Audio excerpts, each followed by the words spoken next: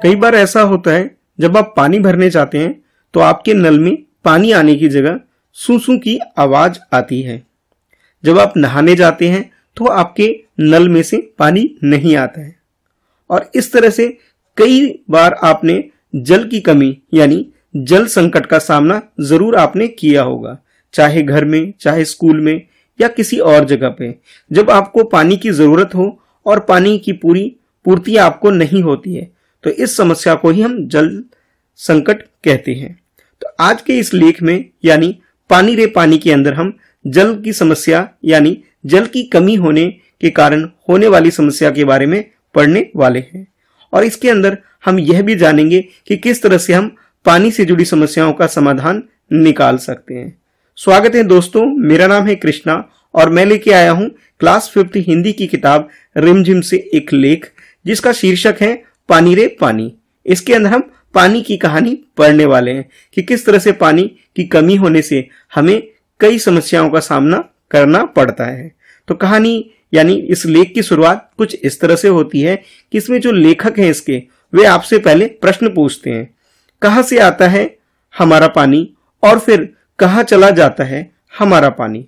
हमने कभी इस बारे में कुछ सोचा है? सोचा तो नहीं होगा शायद, पर इस बारे में पढ़ा ज़रूर है। यानी, क्या आपको मालूम है कि आपके घर में ये पानी कहाँ से आता है और फिर ये पानी कहाँ चला जाता है?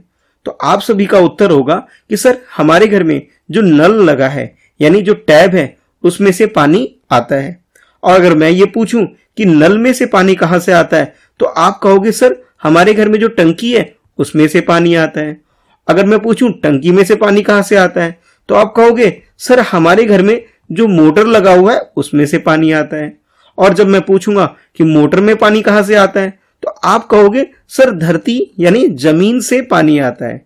अगर मैं पूछूँ, ज़मीन में पानी कहाँ से आता है? तो आप कहोगे, सर, बरसात से ये पानी, यानी बारिश के, का जो पानी होता है, वो धरती में जाता है और वही पानी हमें मिलता है।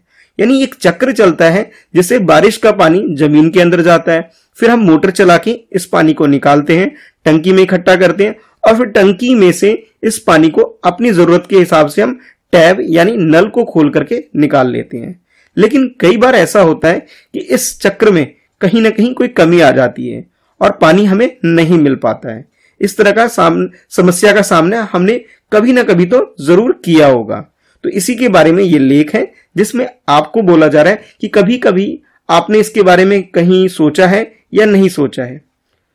भूगोल की किताब पढ़ते समय जकल चक्र जैसी बातें हमें बताई जाती है। एक सुंदर सा चित्र भी होता है। इस पाठ के साथ सूरज, समुद्र, बादल, हवा, धरती, फिर बरसात की बूंदे और फिर भी बहती हुई एक नदी और उसके किनारे बसा तुम्हारा, हमारा घर, गाँव, शहर। चित्र के दूसरे भाग में यही नदी अपने चारों तरफ़ का पानी लेकर समुद्र में मिलती दिखती है। चित्र में कुछ और तीर बने होते हैं, रहते हैं। समुद्र में उठे भाप बादल बनकर पानी में बदलती है। और फिर इन तीरों के सहारे जल की यात्रा एक तरफ़ शुरू होकर समुद्र में वापस मिल जाती है। जल चक्र पूरा हो जाता है। यानी जल चक्र का मतलब यह है कि आपके घर में जब वो पानी आता है, वो पानी का जो पूरा क्रम है, उसके बारे में कि पहले क्या होता है कि जो सूरज की गर्मी जब ज़्यादा पड़ती है, ठीक है सूरज से जो गर्मी ज़्यादा पड़ती है तो जो बादलों में पानी इकट्ठा होता है, ठीक है, वह पानी बरसने लग जाता है। और जब वो पानी बरसता है तो वो समुद्र में जाके इकट्ठा हो जाता है। और जब वो समुद्र में इकट्ठा हो जाता है तो फिर वो पानी आपके घरों में आता है। लेकिन कई बार जब पानी की इस्तेमाल हम बहुत ज़्यादा करते हैं, और समुद्र में गर्मी के कारण पानी की कमी हो जाती है तो ये पानी भाप बनकर बादलों में चला जाता है। और फिर भाप से ये पानी जब इकट्ठा होकर के बादलों में बहुत ज़्यादा होता है तो ये बरसात के रूप में दोबारा ज़मीन पे आ जाता है। तो ये एक चक्र चलता है, जिसे हम जल चक्र कहते हैं। और अगर इस जल चक्र में पानी की कहीं कमी हो जाए तो हमें एक समस्या का सामना करना पड़ता है। तो उसी के बारे में आपने, यानी जल चक्र के बारे में आपने ज़रूर कहीं ना कहीं पढ़ा होगा या सुना होगा। आपकी जो भूगोल की किताब होती है या ज्योग्राफी की किताब होती है उसके अंदर जल चक्र के बारे में इस तरीके से बताया जाता है। यानी कि पानी का क्रम कि कैसे हुए आसमान से ज़मीन पे आता है और ज़मीन से किस तरह से भाप बनकर बादलों में चला जाता है और फिर बरसात के रूप में फिर से ज़मीन पे आता है। तो ये जो चल चक्र ये जो जल का चक्र चलता है, इसी को जल चक्र बोला जाता है। यह तो हुई जल चक्र की किताबी बात। पर अब तो हम सबके घरों में, स्कूल में माता पिता के दफ्तरों में, कारखानों और खेतों में पानी का कुछ अजीब सा चक्कर सामने आने लगा है। यानी जल चक्र तो वह चक्र है जो कि प्राकृतिक रूप से चलता है। लेकिन आजकल हमारे घरों में, हमारे मम्मी पापा के ऑफ़िस में और खेतों में पानी की एक अलग ही समस्या का सामना हमें करना पड़ता है। नलों में अब पूरे समय पानी नहीं आता। नल खोलो तो उसमें पानी के बदले सू सू की आवाज़ आने लगती है। पानी आता भी है तो बेवक्त। यानी पानी आने का कोई फिक्स टाइम नहीं है, यानी उसका किसी भी समय पानी आ जाता है। कभी देर रात तो कभी भोर सवेरे।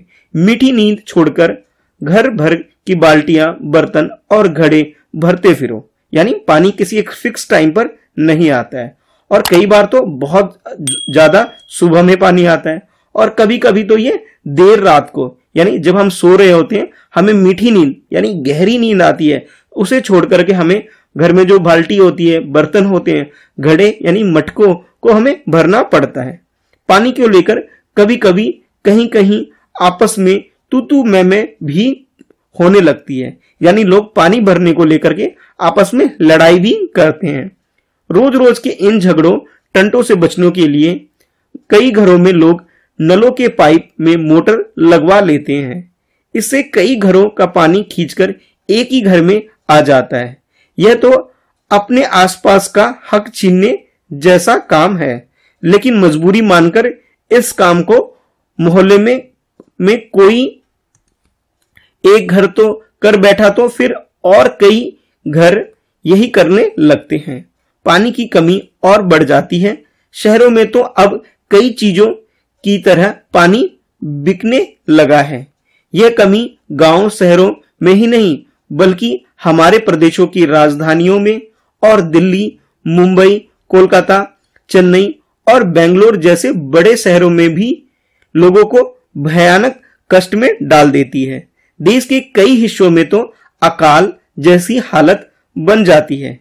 यह तो हुई गर्मी के मौसम की बात, यानी पानी की इतनी कमी होती है कि हमारे घरों में पानी नहीं आ पाता है। और कुछ शहरों के नाम लिए गए हैं, जिसमें दिल्ली, मुंबई कोलकाता, ये कुछ ऐसे शहर हैं जहाँ पर पानी खरीदना पड़ता है, यानी ज़मीन के अंदर से पानी नहीं आता है और हमें पानी की समस्या का सामना करना पड़ता है।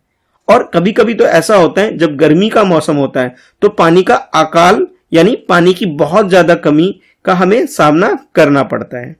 और ये सब गर्मी के ही समय नहीं, बल्कि आजकल तो ये हर मौसम में भी हमें देखने को मिलता है। लेकिन बरसात के मौसम में क्या होता है? लो, सब तरफ़ पानी को, पानी ही बहने लगता है। हमारे, तुम्हारे घर, स्कूल, सड़कों, रेल की पटरियों पर पानी भर जाता है। देश के कई भाग बाढ़ में डूब जाते हैं। यह बाढ़ ना गाँवों को छोड़ती है और न ही मुंबई जैसे बड़े शहरों को। कुछ दिनों के लिए सब कुछ थम जाता है, सब कुछ बह जाता है। यानी पानी से जुड़ी हमें दो तरह की समस्या का सामना करना पड़ता है। एक, जब पानी की कमी होती है तो हमें पानी की कमी होने की वजह से अकाल का सामना करना पड़ता है, जहाँ हमें पीने के लिए, खाने के लिए, नहाने के लिए और अपने काम के लिए हमें पानी नहीं मिलता है। लेकिन जब बारिश का मौसम आता है तो हमें बाढ़ का समस्या हमारे सामने आ जाती है। यानी पानी इतना ज़्यादा हो जाता है कि हम उसका इस्तेमाल भी ठीक से नहीं कर पाते। यानी पानी से जुड़ी दो तरह की समस्याओं का हम सामना करते हैं। एक तो जब पानी की कमी होती है तो उसे हम अकाल के रूप में बोल देते हैं। और जब पानी की बहुत ज़्यादा हो जाती है, यानी कि पानी की जब बढ़ोतरी होती है, पानी की ज़रूरत से ज़्यादा जब हमारे सामने आ जाता है तो हमें बाढ़ का सामना करना पड़ता है। अगर हम ठीक से पानी का इस्तेमाल नहीं करेंगे तो हमें अकाल और बाढ़ जैसी समस्याओं का सामना करना पड़ता है। यानी अब आप समझ रहे होंगे कि ये जो लेख है, पानी रे पानी इसके अंदर हमें दो तरह की समस्या को सामना करना पड़ता है। एक तो ये पानी की कमी, जैसे बारिश नहीं होती है तो पानी की कमी हो जाती है। और जब बारिश होती है, और जब ज़्यादा बारिश होती है, पानी को हम सुरक्षित नहीं रखते तो भी एक समस्या को सामना करना पड़ता है कि हमारे घर में, हमारे स्कूल में, सड़कों पर, रेल की पटरियों पर हर जगह पानी भर जाता है। और जब पानी भर जाता है तो बाढ़ आ जाती है। तो इस तरह से हमें बहुत ज़्यादा नुकसान का सामना करना पड़ता है। यानी पानी एक ऐसी चीज़ है, अगर हम इसे ठीक से इस्तेमाल ना करें, ठीक से इसे सुरक्षित ना रखें तो हमें दोनों तरीके से हमारे लिए एक समस्या बन जाती है, चाहे वो अकाल हो, चाहे वो बाढ़ हो। कई बार आपने पानी को भरते समय इस तरह की लंबी लाइन ज़रूर देखी होगी, जहाँ लोग अपने बर्तनों को इस तरह से लाइन में लगा करके पानी को भरते हैं। यानी कि पानी की कमी के कारण इस तरह की समस्या का सामना हमें करना पड़ता है। ये हालात हमें बताते हैं कि पानी का बेहद कम हो जाना और पानी का बेहद ज़्यादा हो जाना, यानी अकाल और बाढ़, एक ही सिक्के के दो पहलू हैं। यदि हम इन पानी को ठीक से समझ सके और संभाल ले तो इन कई समस्याओं से छुटकारा मिल सकता है। चलो थोड़ी देर के लिए हम पानी के इस चक्र को भूल जाएँ और याद करें अपनी गुल्लक को। जब भी हमें कोई पैसा देता है, हम खुश होकर दौड़कर उसे झट से अपनी गुल्लक में डाल देते हैं। यानी अभी थोड़ी देर के लिए आपको बोला जा रहा है कि पानी की जो दोनों समस्या है इसको भूल जाते हैं। और आपके घर में जब कोई मेहमान आते हैं तो आपको कुछ ना कुछ पैसे देखे जाते हैं। और आप क्या करते हो? उस पैसे को अपनी गुल्लक में रख लेते हो उसे संभाल कर। तो उसी तरह से यहाँ पे पानी की कम, कमी और पानी की ज़्यादा होने की समस्या का समाधान भी हम गुल्लक के रूप में कर सकते हैं। कैसे? चलिए आगे पढ़ते हैं। एक रुपया, दो रुपया, पाँच रुपया, कभी सिक्के तो कभी बड़े बड़े नोट। सब इसमें धीरे धीरे जमा होते जाते हैं। यानी आपकी गुल्लक की बात की जा रही है कि जब आप अपने गुल्लक में कभी एक रुपया जमा करते हो, कभी दो रुपये जमा करते हो, कभी पाँच रुपये, यानी जितने भी पैसे आपको मिलते हैं, आप धीरे धीरे उसमें जमा करते चले जाते हैं। फिर जब कभी हमें कुछ पैसों की ज़रूरत पड़ती है तो इस गुल्लक की बचत का उपयोग कर लेते हैं। यानी जब आप पैसे की आपको ज़रूरत पड़ती है किसी काम के लिए तो आप क्या करते हैं? जो इस गुल्लक में आपने पैसे इकट्ठा कर रखे थे, एक रुपया, दो रुपए यानी जिस तरह से भी आपने पैसे जोड़े थे, उन सारे पैसों का इस्तेमाल आप कर सकते हैं इस गुल्लक में से पैसे निकाल के। तो उसी तरह से यहाँ पर आपको बताया जा रहा है कि हमारी धरती, ये जो है, ज़मीन है, यानी नेचर ने जो हमें संसाधन दिए उसके बारे में आपको बताया जा रहा है कि हमारी यह धरती भी इसी तरह की खूब बड़ी गुल्लक है। मिट्टी की बनी इस विशाल गुल्लक में प्रकृति, वर्षा के मौसम में पानी खूब मौसम में खूब पानी बरसाती है। तब रुपयों में भी कई गुना कीमती इस वर्षा को हमें इस बड़ी गुल्लक में जमा कर लेना चाहिए। यानी जिस तरह से आपके पास कभी कभी खूब सारा पैसा होता है तो आप लोग गुल्लक में संभाल लेते हैं। उसी तरह आपको बताया जा रहा है कि जो हमारी धरती है, ये भी एक बड़ी गुल्लक है। यानी जब हमारे पास पानी की ज़्यादा होता है, हमारे पास पानी, यानी बरसात होती है तो हमें पानी को धरती के अंदर संभाल कर रखना चाहिए। जैसे हम गुल्लक में पैसे संभालते हैं, उसी तरह से हमें पानी को धरती रूपी इस गुल्लक में भरना चाहिए। हमारे गाँव में, शहर में जो बड़े बड़े तालाब, झील आदि हैं वे धरती की गुल्लक में भी पानी भरने का काम करते हैं। यानी, जब बारिश ज़्यादा हो रही हो तो हमें तालाब में, झील में, नदी में, हर इस जगह पे, जहाँ पे हम पानी को सुरक्षित रख सकते हैं तो धरती रूपी इस गुल्लक में हमें पानी इकट्ठा करना चाहिए। इनमें जमा पानी ज़मीन के नीचे छिपे जल के भंडार में धीरे धीरे रिस कर छन कर जा मिलता है। और जब हम तालाब में, नदी में, झील में पानी इकट्ठा करते हैं। तो ये पानी ज़मीन के अंदर जो जल का भंडार है, वहाँ जाकर के धीरे धीरे रिस कर छन कर इकट्ठा हो जाता है। इससे हमारा भूजल, यानी जो जलों का एक भंडार है हमारे पास, ठीक है, वहाँ पर, यानी भंडार समृद्ध हो जाता है। यानी जब हम पानी को तालाब में, झील में सुरक्षित रखते हैं, यानी इनकी साफ़ सफ़ाई करके पानी को इकट्ठा होने देते हैं तो ये पानी हमारे ज़मीन के अंदर जो पानी है, उसके साथ जा मिलता है और इकट्ठा हो जाता है।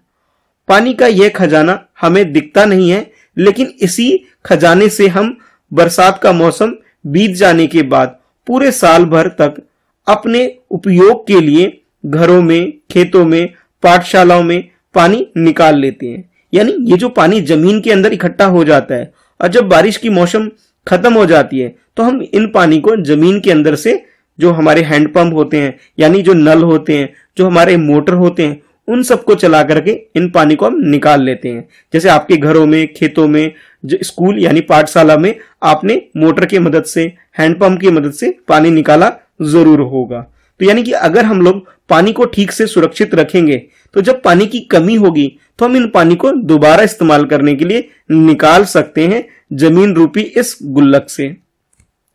लेकिन एक दौर ऐसा भी आया जब हम लोग इस छिपे खजाने का महत्व भूल गए और ज़मीन के लालच में हमने अपने तालाबों और कचरों से पाट कर, भर कर समतल बना दिया। यानी ये जो जमीनी रूपी गुल्लक है, आजकल हम इसे भूल चुके हैं। इसका इस्तेमाल हम लोग नहीं कर रहे हैं। बल्कि ज़मीन के लालच में हम लोगों ने ऐसा किया है कि जो तालाब हमारे घर के आसपास हुआ करते थे वह हमने कचरों से इसे भर दिया है और ज़मीन के बराबर इसे समतल बना दिया है। और इसी की वजह से यहाँ पानी इकट्ठा नहीं होता है। और जब पानी इकट्ठा नहीं होता है तो हमें पानी की कमी का सामना करना पड़ता है। और देखते देखते आज के समय में हमें मकान, कहीं बाज़ार, कहीं स्टेडियम और कहीं सिनेमा घर आदि खड़े हो गए हैं। यानी हम लोगों ने क्या किया?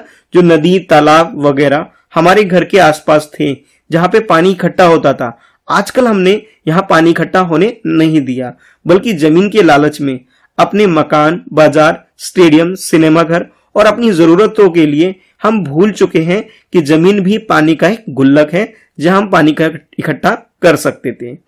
इस बड़ी गलती की सजा अब हम सबको मिल रही है। गर्मी के दिनों में हमारे नल सूख जाते हैं और बरसात के दिनों में हमारी बस्तियाँ डूबने लगती हैं। यानी जो हम ये जमीनी रूपी गुल्लक जो हम भूल गए हैं, इसकी वजह से हमें काफ़ी समस्याओं का सामना करना पड़ता है। जो हमारे नल हैं, जहाँ से पानी हमें अब नहीं मिलते, बल्कि हमारे नल कैसे हो गए, अब सूख गए हैं। अब बरसात के दिनों में हालात ऐसे होते हैं कि इतना सारा पानी हो जाता है इकट्ठा कि जहाँ पे हम रहते हैं, हमारी जो बस्तियाँ हैं, वो पानी अधिक होने की वजह से डूबने लगती है। इसलिए हमें अकाल और बाढ़ से बचना है तो अपने आसपास के जल स्रोतों, जल स्रोत यानी तालाबों की ओर, नदी आदि की रखवाली अच्छे ढंग से करनी पड़ेगी। जल चक्र हम ठीक से समझें, जब बरसात हो तो उसे थाम लें, यानी उस पानी को हम इकट्ठा कर लें। अपना भूजल, यानी ज़मीन के अंदर जो जल है, उसे भंडार को सुरक्षित रखें। अपनी गुल्लक भरते रहें। गुल्लक का मतलब यहाँ पे है, धरती रूपी गुल्लक से, जहाँ हम पानी को इकट्ठा कर सकते हैं। तभी हमें ज़रूरत के समय पानी की कोई कमी नहीं होगी। यानी जब हमें ज़रूरत पड़ेगी, हम इन पानी को निकाल सकते हैं, इसका इस्तेमाल कर सकते हैं। यदि हमने जल चक्र का ठीक उपयोग नहीं किया तो हम पानी के चक्कर में फंसते चले जाएँगे। यानी ये जो जल चक्र है, जिसमें पानी ज़मीन पे आता है और ज़मीन में इकट्ठा होता है, और फिर ये गर्मी के कारण, बरसात के कारण ये फिर ऊपर चला जाता है, नीचे आता है जो चक्र चलता रहता है। अगर हमने इसका ठीक से उपयोग नहीं किया, यानी पानी को सुरक्षित नहीं रखा तो एक समय ऐसा आएगा जब पानी बिल्कुल भी नहीं आएगा और हम पानी की कमी के कारण में, यानी इसके चक्कर में फंस जाएँगे और हमें बहुत ज़्यादा समस्या का सामना करना पड़ेगा।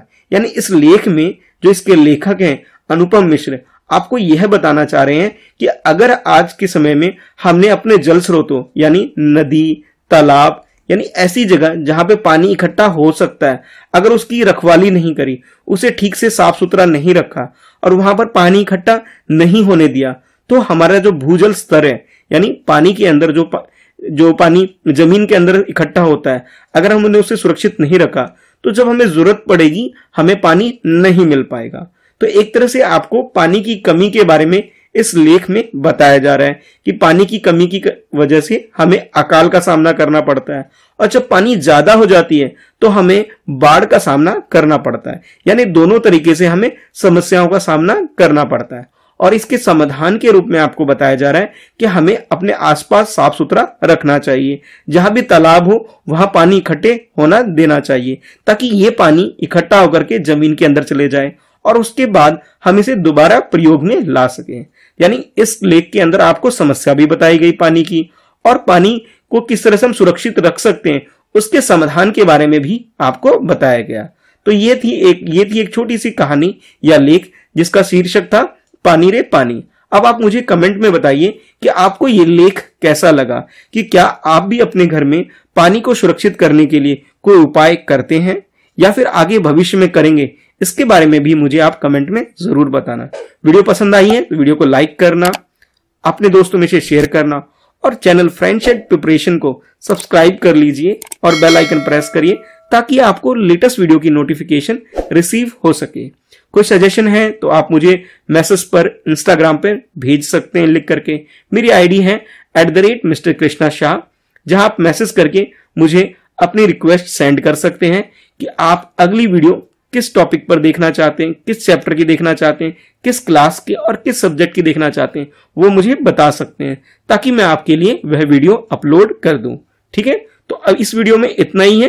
Thanks for watching bye bye अब हम लोग इसके जो प्रश्नोत्तर हैं, उसे हम इसे करेंगे इसके सेकेंड पार्ट में। तो फ़र्स्ट पार्ट में इतना ही है।